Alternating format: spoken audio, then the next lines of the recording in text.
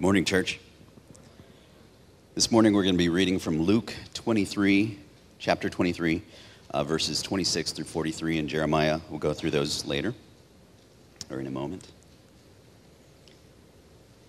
As the soldiers led him away, they seized Simon from Cyrene, who was on his way in from the country, and put a cross on him and made him carry it behind Jesus. A large number of people followed him, including women who mourned and wailed for him. Jesus turned to them and said, Daughters of Jerusalem, do not weep for me. Weep for yourselves and for your children.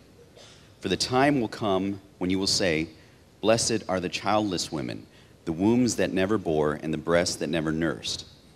Then they will say to the mountains, Fall on us, and to the hills, Cover us. For if people do these things when the tree is green, what will happen when it is dry? Two other men, both criminals, were also led out with him to be executed.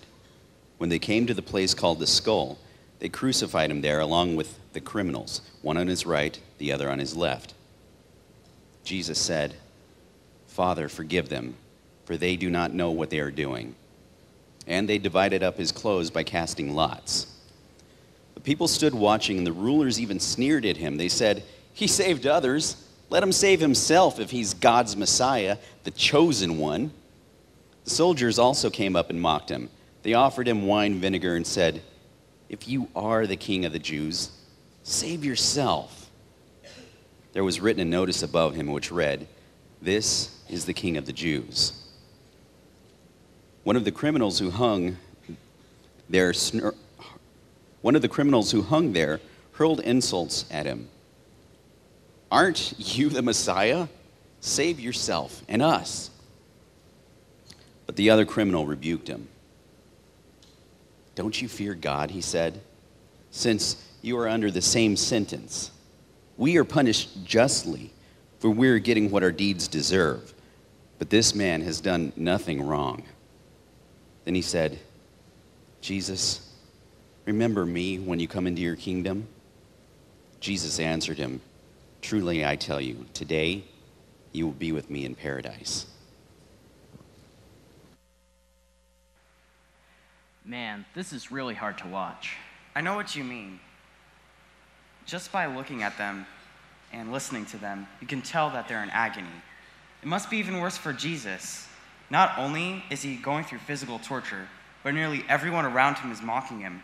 Even the criminal next to him said, Aren't you the Messiah? Save yourself and us.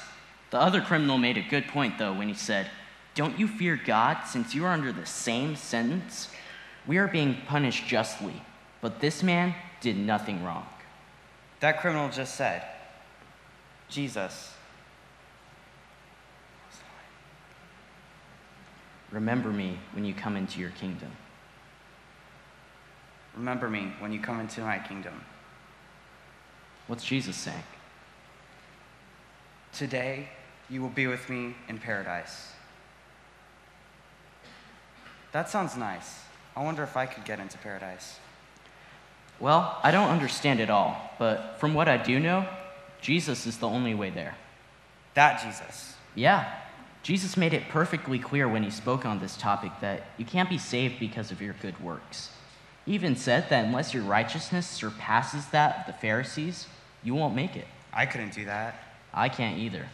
But Jesus did. I think maybe that's the point.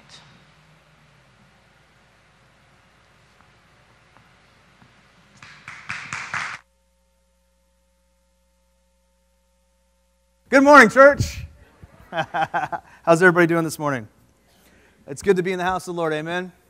Amen. Well, today we're picking back up with our seven sayings from the cross series as we look at Jesus on the cross and the things that he said and the importance of them. But I'm pretty sure that the question on most of our minds is how is Pastor doing? Right? For those of you who don't know, Pastor did have an angiogram done this last week, and he's actually here today. And so he's right over there. So he's doing well. Stand up, say hi. And so you can go hug and love on him later. But as we continue this, this series, as we look at this, we're going to be looking at actually the second saying in the series is, Today you will be with me in paradise. And as we look at the cross, one of the things I really want us to grasp before we even get to the sayings, so we can understand the weight and the importance of these sayings, actually what's happening around the cross. And the truth is, what's going on right now, if we could kind of zoom in from like space and look at what's going on in Jerusalem at this point, this is literally zooming into the middle of the world, in the middle of the time, to, in the middle of time, to see the most important thing in history. And so, what, one of the things I want to talk about is at the time of, of Jesus' death and at the time of his birth, Roman rule is actually over all the world. They have, they have done something that has never been accomplished before and has never been accomplished since. The Romans achieved what is called the Pax Romana, which is world peace. And for the first time in history, the world is at peace, and it's never happened since since the fall of Rome. Since the fall of Rome, the world has been in constant turmoil like it was beforehand. The language that was and, and, spoken at this point in time was Greek, which is almost a perfect language. That's what the New Testament is written in. So we have a perfect language, a perfect time, and a perfect world.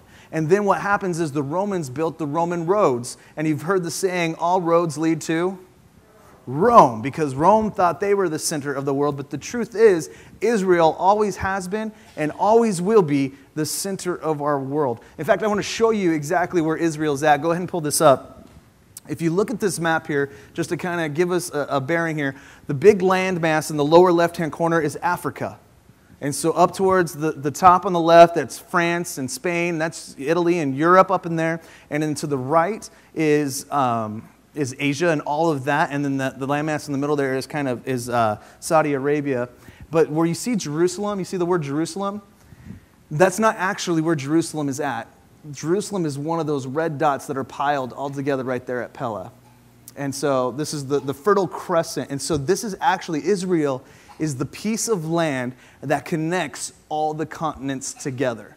And so the trade routes had to go through Israel and Jerusalem, which made Jerusalem the center of the world. It made it important. And this is why the kingdoms of Israel were able to be built up so well. That's why Solomon and David had such wealthy kingdoms, is because all the trade had to go through there. And that's why Israel was, was so wanted by all the other nations, is because if they controlled the land that connected everything together, they would have wealth and power. And so in the time of the Roman rule, Israel is still the middle of the world, just as it is today, but it's peace time. And what happens, the way that the Romans acquired peace is when they conquered the world, they didn't go in and say, You are now slaves. They went into the nations like Israel and said, We want you to continue being Israel. We want you to continue your religion. We want you to continue worshiping at your temple. Rome is over you, and you'll pay homage and taxes to Rome's, but you are still Israel. Act like it. And so, what happened is because of all these road systems, so not only did Israel continue to flourish, but then the Jews and the Israelites, because of the Old Testament, remember when they were taken into slavery and taken to Babylon, they were already spread out. But because of the Roman roads and because of the time of peace, you could travel safely. So now the Israel, nation of Israel and Jews had spread all over the world. And what's going on as we read what's happening at the cross right now is the center of the world, Jerusalem is in what's called Passover. And Passover is like the festival of festivals. That's when Jews from all over the world would come back to Jerusalem to celebrate Passover. And so the population of Jerusalem at this point in time has actually exploded. So Jerusalem is packed with people and Jews from all over the world. And we're going to see one of them in just a minute. And so what's going on is literally Rome sees what's going on here. This is the center. And they have Pontius Pilate, who's in charge of the Roman rule over Jerusalem.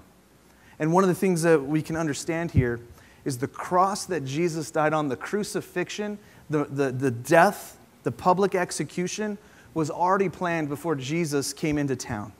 In fact, the, they were going to kill three people that day, and this is why the Jewish leaders were hustling so much in the middle of the night to try and get this done, was so that they could get Jesus killed instead of who was supposed to be killed that day. The three crosses were meant for a man named Barabbas, who was a thief and a murderer and somebody who was an insurrectionist against Rome. He was a horrible man. And his two, two of his gang, which would have been the two thieves that were actually crucified on each side of Jesus. So the cross that Jesus died on was actually supposed to be for the man Barabbas. And so this execution was already in play. And so what's happening is the population of Jerusalem is exploding. Jesus has become popular because he's healing people. The, the Israelite leaders, the religious leaders, the Pharisees, the Sadducees, and the Sanhedrin are jealous of Jesus and his power. So they're doing everything they can at this point to get Jesus killed before Passover, before he can cause even more because the whole world is coming together in Jerusalem for Passover. And so what ends up happening, we know the story, it's, we call it Passion Week, and Monday comes and Jesus, Jesus comes in on a donkey into Jerusalem as a king, and people put palm branches below him and they worship him, Hosanna. And but what we want to focus on, what I want us to understand is all the actions that lead up to the cross so we can understand the weight of the saying. So if you'll bring up, I got something I want to show you here. This looks really confusing, and I know that. We're going to go through it really quickly, and I, you'll, you'll understand. The red arrows that you see on here, are actually the journey of Jesus starting on Thursday night to the cross. And so if we start down here in the left hand corner, it says, number one, Thursday, Jesus shares the Passover meal with his disciples. So they believe that, historians believe that he shared the Passover meal in the Essene corner, which is down there in the kind of lower left hand. And that's where he spent the time with the disciples. That's when Judas left during the, during the, the Lord's Supper to, or the last Passover meal to go and betray him and they leave there and they follow that big red arrow that goes all the way up to the Garden of Gethsemane at the top. So they journey to the Garden of Gethsemane. And a lot of the teaching that we see in John when Jesus teaches at the, at the Passover, a lot of it actually happens on that journey from the upper room to the garden. They get to the garden and Jesus prays. And we know the prayer if, this, if there's any other way, let this cup pass by me, right? But your will be done, but not mine. And so, and then it's at the garden where Jesus is arrested and Judas shows up and betrays him. So this all happens Thursday night. It's late in the evening by this point. So Thursday night, they arrest him and they take him Thursday night to number four, back to the Essene quarter, which is where uh, the, the head priest, Caiaphas, his house is at, and they put on a mock trial. And they, they basically try him in this midnight court, this fake court, and they have people come and tell lies about Jesus. He did this, or he did that, or he said this, or he said this. And Jesus remains silent and doesn't defend himself. And so Caiaphas, they're trying to find a reason to find Jesus guilty, so they abuse him and beat him, spit on him. So they decide, let's take him to the Sanhedrin. So early Friday morning, they end up at the temple, which is where the Sanhedrin is, is, is gathering together to try Jesus. And again, what they're trying to look for a reason to kill Jesus, to find him guilty of something, and people are lying about him. And finally, the head priest asks him, You said you were the Messiah. Is it true? And Jesus' response is, It is as you say. And at that point, the head priest goes, We don't need any more testimonies. He has claimed to be God, and that is blasphemy. He deserves death. So they beat him and spit in his face more. And they drag him over to number six over here, which is uh, before Pontius Pilate. And so he stands before Pontius Pilate, and Pilate can't find anything wrong. He's not a Jew, so he doesn't have a problem with Jesus claiming to be the Messiah. And he doesn't know why the Jews are rallying against Jesus to kill him. So Pilate, at this point, says, This man is not guilty of anything. But he realizes Herod's in town and that Jesus is from a place called Gethsemane. And Herod is actually in charge of Gethsemane. So he says, You know what? I don't want anything to do with Jesus. So send him to Herod. And so he goes from Herod, or from, from Pilate, over to number seven, which is almost across the street, Friday morning, Jesus before Herod Antipas. And Herod doesn't care about what the Jews are saying. What he wants to see is Jesus do some miracles. And so he's not even caring about the trial. He's like, I've heard of all the things you do, and I've been wanting to meet you. Show me how powerful you are. And Jesus remains silent and will not show many miracles. So Herod gets frustrated and says, You think you're a king? I'll treat you like a king. And they has him beat and covered with a, royal robe to pretend that he's a king. And the soldiers beat him and mock him as if he's a powerless king. And Herod says, I want nothing to do with this, and sends him back to Pilate. And we end up back at Pilate's house, number eight, Friday morning. And Jesus again before Pilate. Pilate's wife had a dream saying, Don't have anything to do with this man. So she goes to Pilate and says, Don't do anything with Jesus. Just let him go. I've had a dream. It's been tormenting me all night. So Pilate, Pilate, in his, in his attempt to get out from underneath of what is going on here, takes Jesus and has him flogged. So he's already been beaten, but at this point he is now being flogged. And what flogged is, is basically it's an art form. It's they're able to beat somebody within an inch of their life without killing them. So they, he takes Jesus and beats him to the point where he is almost dead. And the, the prophecy says that he was, he was beaten beyond recognition, that even his own mother would not be able to recognize him at this point. And he brings Jesus back before the Jews in the Sanhedrin and says, Look what I've done. This man does not deserve death, but look what I've done to him. This is enough. And the Jews say, No, we want to kill him. And so he goes, Okay, well, this is, this is your tradition. This is what we do. I have in my custody a man named Barabbas, and it is our custom to give you, the Jews, the opportunity to pardon one person at Passover. Now, we have to remember, Rome is in rule at this point, right? All of the world is coming to a focus in Jerusalem because the Jews are all coming back for Passover. What better way to peacefully show all of Israel and all the world that Rome is still in charge than by doing a public execution? The execution of Barabbas was already planned. So as people came into Jerusalem, they would see these people on a Roman cross. See, the Romans were the only one that could use the cross to kill. The crucifix, the cross, was a Roman tool of death, and it was a shameful death. And the Romans were the only ones that used it. And so by putting people on a cross, that showed the Romans were in charge. In fact, Romans would not put Romans on the cross. It was only reserved for non Romans. That's why we don't see Paul crucified on a cross. Traditionally, the church shows that he was executed outside of town because he was a Roman citizen, so therefore a cross would have been too shameful for Paul. And so, what better way to peacefully show the world than to put onto public display on this day of the uh, time of Passover, the Romans, Romans are in charge. They have the power to execute. And so he puts them up there and says, We have Barabbas and we have Jesus. Who do you want? And we know the story. They all Give us Barabbas, and they yell, Crucify him, crucify him, crucify him for Jesus. So Jesus ends up on Barabbas' cross, and the two thieves on the other side of Jesus would have been part of Barabbas' gang. And when we think of thieves, they're not thieves like we think of. When we think of thieves, we think of, of maybe um, a cat burglar, somebody breaking into a house and stealing things, or a car thief or something like that. The thieves that they would have been would have been the kind that would catch you on a road and kill you and take all of your stuff. They were murdering thieves, murderous thieves. And so they take Barabbas and they let him go. And Pilate says, All right, I wash my hands of this. And he releases Jesus to be crucified. And then you'll see that little red arrow there at the top. It looks like a hook. That's the journey from, from the palace where, where Pilate would have been at to the cross. And that's where we pick up today. So we kind of understand the background and the whole events that happened from Thursday night to Friday morning. And it is, it is a, a crazy time that is going on. And Jesus, by this point, is completely exhausted. And that's where we find in chapter 23, verse 26, is where we pick him up. And it says in verse 26, as the soldiers led him away, they're leaving Pilate and they're heading towards Golgotha. As the soldiers led him away, they seized Simon from Cyrene who was on his way in from the country, and put the cross on him and made him carry it behind Jesus. So we see the cross is too, too heavy at this point for Jesus to carry because by this point, congestive heart failure because of the beatings have started to set in, fever has started to set in. Jesus is hardly able to stand on of his own power, let alone the, the, the, the weight of the cross. And so it would have been shameful for the Romans to let Jesus die on the road instead of on the cross because that's not what they did. That would have shown that they were bad at their task. So, what they do is what Romans have the ability to do, Roman soldiers, is they're able to take somebody and assign them a job. And so they grab this guy named Simon of Cyrene and they grab him and make him carry Jesus' cross. And really, he didn't want to do it. But what happened, Simon of Cyrene is from Africa. Cyrene is Africa, 800 miles away. And Simon's not part of this scene. See, what's going on is this is now almost 9 o'clock in the morning.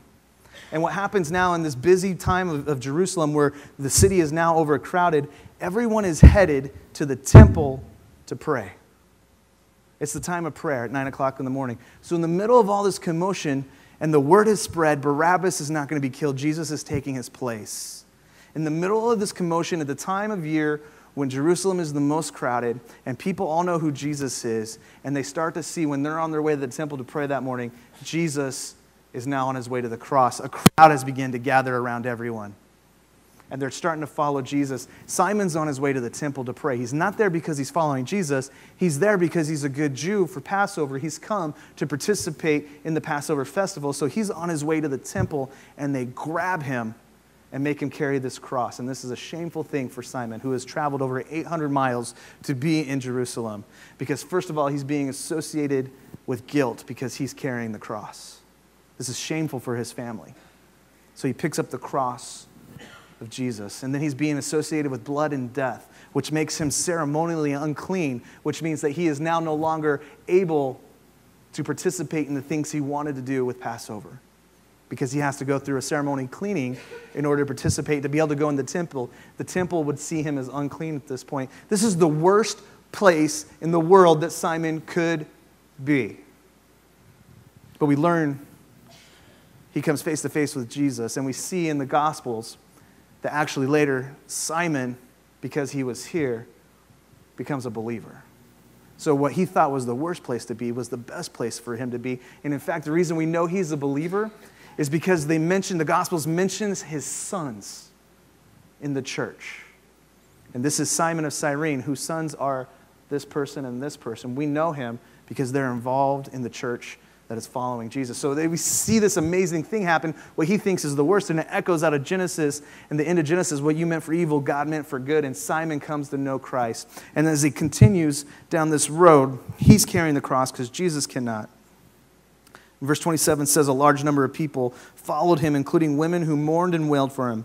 Jesus turned and said to them, Daughters of Jerusalem, do not weep for me Weep for yourselves and for your children, for the time will come when you will say, Blessed are the childless women, the wombs that never bore, and the breasts that never cursed. Then they will say to the mountains, Fall on us, and to the hills, cover us. For if people do these things when the tree is green, what will happen when it is dry?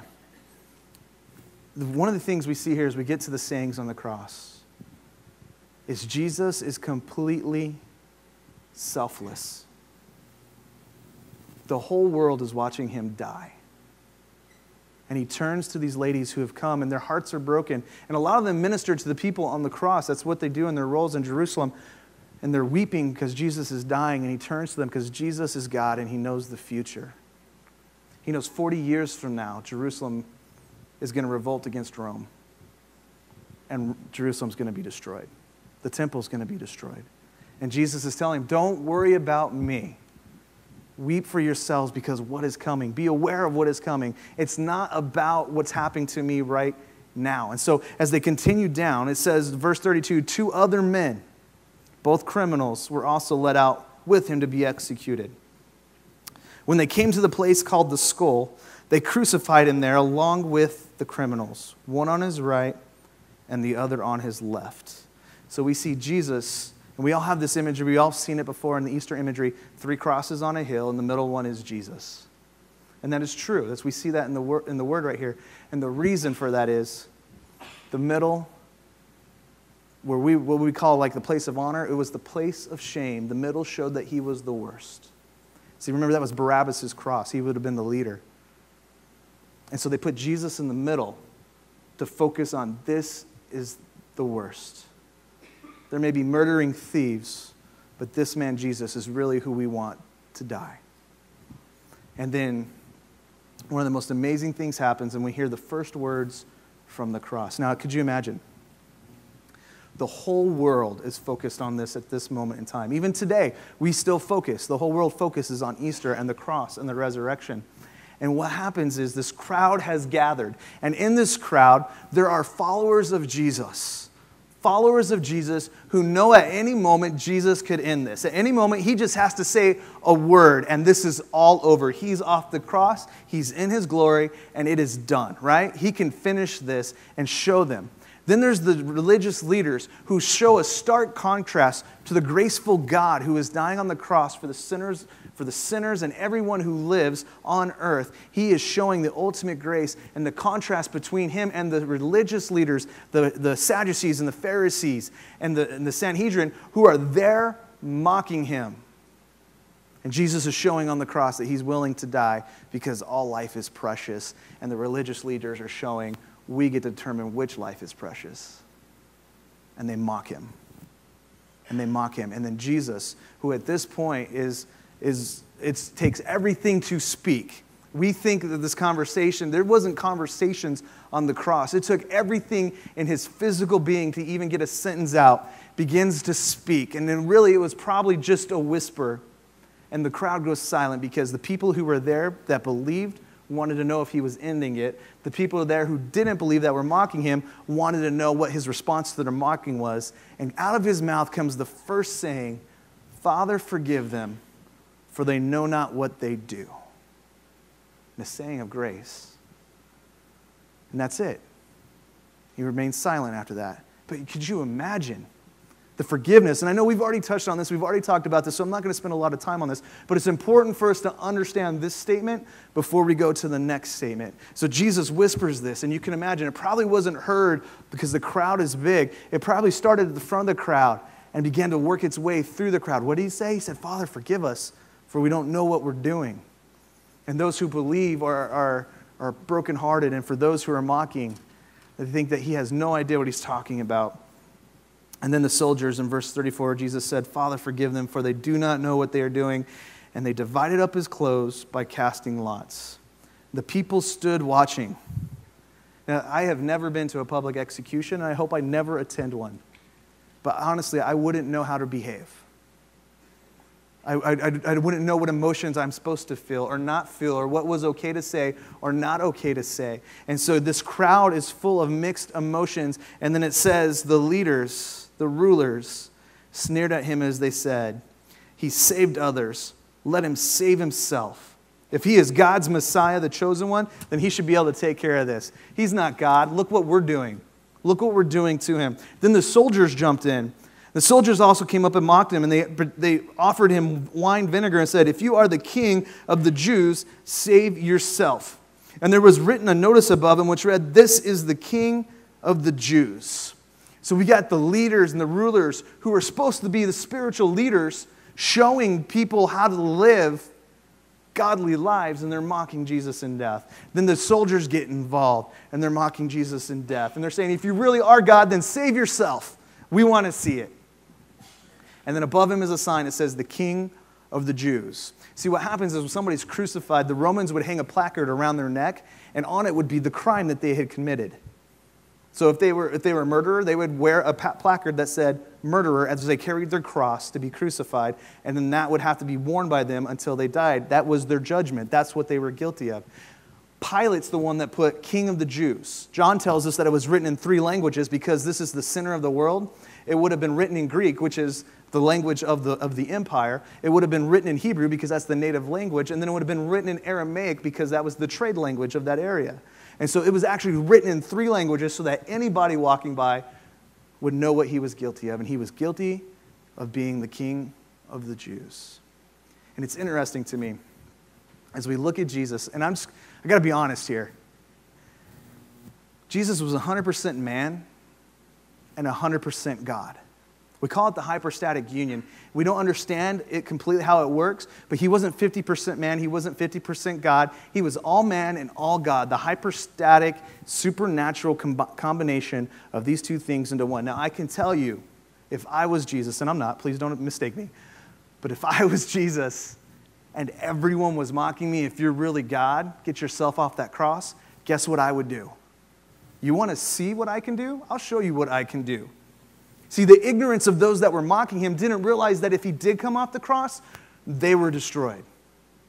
And as you think about this and who Jesus was, the temptation, the ultimate temptation of the man of Jesus would have been to show them, You want to see what I can do? It tells us in the next paragraph, next part of this chapter, at noon, we're just talking about the, actually, the crucifixion was six hours long.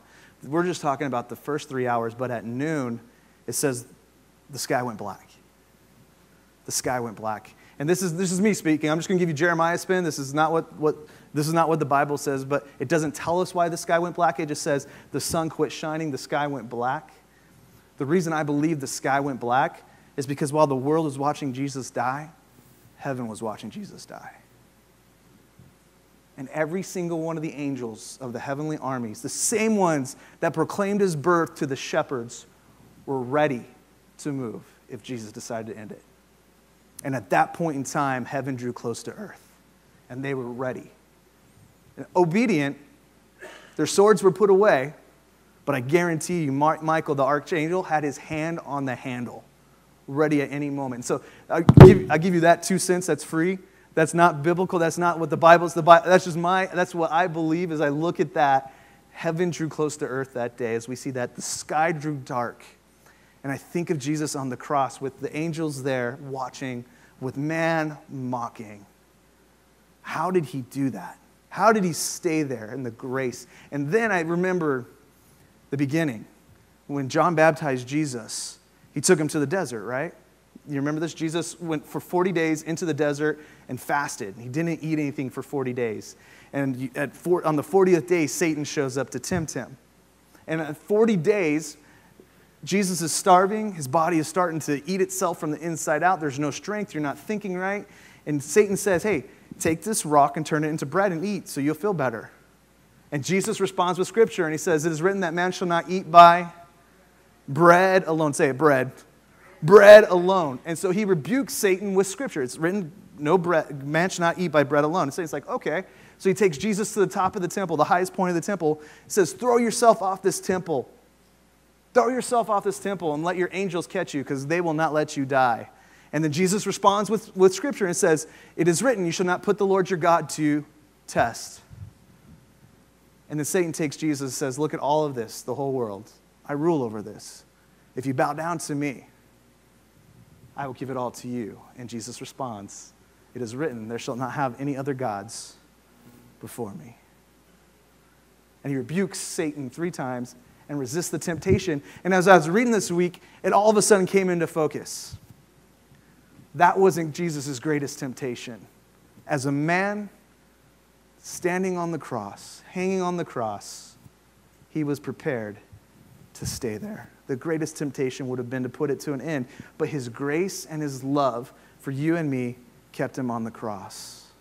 And then we find him at the place of the most shame in between two murderous thieves Matthew and Mark tells us something. Matthew and Mark tells us that both of these thieves were actually in on the mocking at the beginning. It says that both the thieves mocked Jesus and said, If you are the Messiah, then save all of us. But then we get to Luke, and Luke gives us a little bit more insight into what actually happens after they mock him. And you see, the first thief, when Jesus said those words of grace, remember I said it was important that we understand when Jesus said, Father, forgive them, for they know not what they do spoke that word of grace and that prayer of grace over everyone, it changed the heart of one of the thieves. And they saw Jesus for who he was for the first time. And that thief then began to believe in his heart that Jesus was who he said he was. And then we see here, verse 38, read this with me. There was a written notice above him which read, This is the King of the Jews. Then one of the criminals who hung there hurled insults at him. Are you the Messiah? Save yourself and us. But the other criminal rebuked him. Don't you fear God, he said, since you are under the same sentence. We are punished justly, for we are getting what our deeds deserve. But this man has done nothing wrong. So they're on the cross. Now, we have to understand the thieves are in a better condition than Jesus. Jesus has gone through a lot more than the thieves have. So they're actually able to have a conversation at this point. They may have been beaten, but they weren't flogged. They're in a bad place, but they weren't as bad as Jesus was. And they begin this conversation. And one of the thieves says, You know, save us. And the other one responds, Don't, don't you fear God? We're all condemned to die right now. All three of us are serving the same sentence of death. You and I, they knew each other, they were friends. You and I deserve this. We are guilty. He hasn't done anything wrong. And then he turns to Jesus and says, Jesus, when you come into your kingdom, will you remember me? Now, Romans 10 8 9 tells us if we believe in our hearts and confess with our mouth that Jesus is Lord, we will be saved. We will be saved. And here is a thief proclaiming that Jesus is innocent, that Jesus is a king, that he has power in his kingdom, and that his kingdom is eternal because it's after death. And he says, Jesus, he asks humbly, he doesn't say, Jesus, Will you give me a position in your kingdom? He just simply, humbly says, Jesus, will you remember me? And then we get the second saying from the cross. And I don't know, we don't know how much strength or how much pain or how much energy it took for Jesus to reply. But at this point, he had not acknowledged the thieves. And this thief acknowledges Jesus. And it echoes the saying that Jesus said, If you acknowledge me before men, I will acknowledge you before my Father in heaven. And I imagine the joy of Jesus understanding that this thief just right next to him is coming to the salvation, the saving grace of knowing who Jesus is. He turns to him and says, I tell you today, you will be with me in paradise. And that thief has the confidence of eternity now. So we see the power of the second statement. Truly, I tell you, today you will be with me in paradise. So, what do we learn from this? How do we apply this? Well, the first thing we can learn from this, number one, is that the forgiveness on the cross that Jesus gives is for everyone. We need to understand that. And see, when you, when you talk about salvation, when you talk about the gospel with people, one of the biggest pushbacks we give is, Pastor, if you only knew the things I've done, then you would know Jesus couldn't forgive me, right? And I'll be honest with you, all of us have felt that way at some point in time. Pastor, if you only know the things that I, I've been involved with or the things I've done, if you knew how bad my life has been, you would know that Jesus wouldn't forgive me. The cross shows us that Jesus forgives everyone. This thief didn't have time to get off the cross and turn his life around. He didn't have time to make it right with everybody else. Jesus forgave him for being a murderous thief because he had faith in who Jesus was. So let's build this bridge and get over this together. It doesn't matter what you've done in your life, it doesn't matter where you're at or what's going on. Jesus' forgiveness on the cross covers it. It always has, it always will. It doesn't matter who you think you are because salvation is always about who Jesus is and what he did. And our God is bigger than anything that we can do wrong. And so on that cross that day, Jesus proved to us salvation and forgiveness is for everyone. It doesn't matter who they are, what they've done, or where they're at. And that to me is good news. I, you could come up to me and say, You know what, Jeremiah, you really don't know what I've done. I said, I'll be honest with you, I really don't care. Please don't tell me. right? Let's not, uh, I really don't want to know because that may change how I think about you. I hope not, but it's not for me. God has forgiven you, right? And so as we stand here today, if you are here today and you have stood against salvation because you don't think you're good enough for it, the news is none of us are good enough for it. Jesus died for it, and it's yours freely. Amen? Amen. Number two, number two, what we learn here as we look at this Today I tell you, you will be with me in paradise. We often emphasize paradise. And can I tell you, as a Christian, that's wrong. Jesus could have said anything there.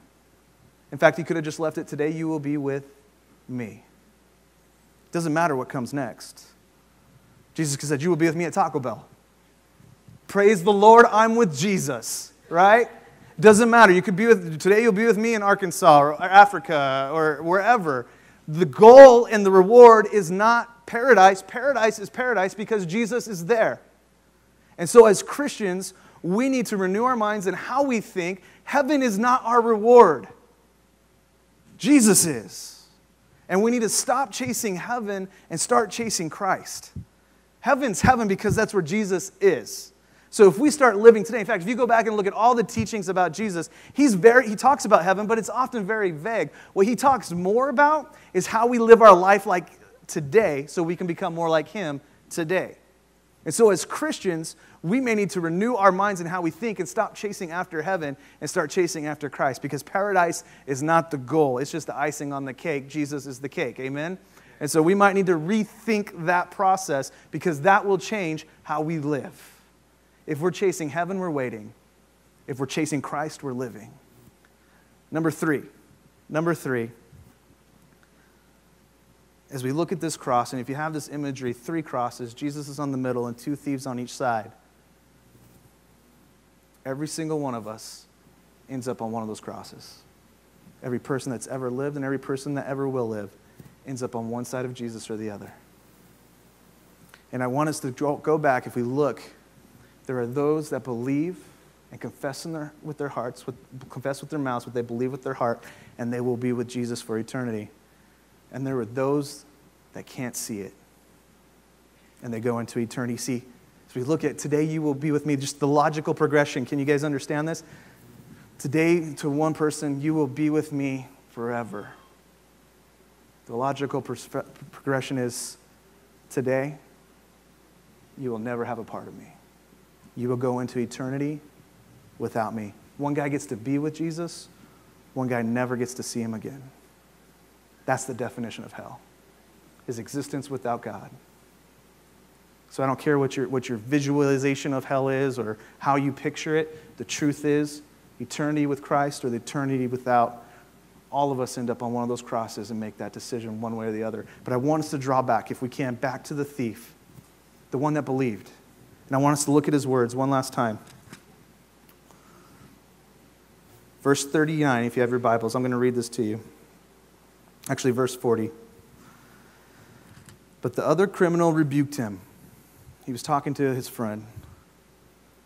He says, Don't you fear God? He said. Since you are under the same sentence, we are punished justly, for we are getting what our deeds deserve. But this man has done nothing wrong. What we see here on the cross, it says he rebuked him. This isn't that he was angry. Remember, they had done things together that Jesus would never forgive us for, right? That we couldn't imagine some of the things they've done, some of the people they've killed, some of the things they've taken. And he looks at them and he rebukes them. And it wasn't to rebuke him because he was mad at him, it's because he knew he had just come to the saving knowledge of Jesus and he could see Jesus who, for who Jesus was, and the other one couldn't. And the rebuking was not anger or frustration, it was evangelism. It was for him to understand who Jesus was. It says, No, no, you've got it wrong. Don't you get it? This is God. You and I deserve this. He doesn't. See, there's a role there.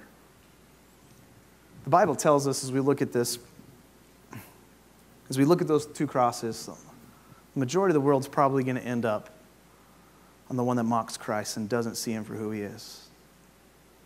That saddens my heart. But there's hope. And we see it in the, in the, in the thief that believed because he didn't want his friend to go to hell. And that's your role and my role. We don't get to dictate who ends up on which cross, but we get to be a part of the amazing blessing of being part of the process. And your role and my role is to rebuke with a full heart because we don't want the people around us to not know Jesus. We don't want the people around us to go into eternity without Jesus. So today, if you are here today and you have been keeping Jesus at arm's length, you like what church is about, and you've been coming to church, I don't care if you've been in church your whole life, but if you have never accepted the free gift of forgiveness because you think that what you've done is so bad, today's your day. You need to come forward because we're not promised to tomorrow. But today you can know for sure that if something were to happen to you, you'd be with Jesus. Today needs to be your day. Thanks for joining us, and we hope you have a great week. We can't wait to see you next time here at South Peoria Baptist Church.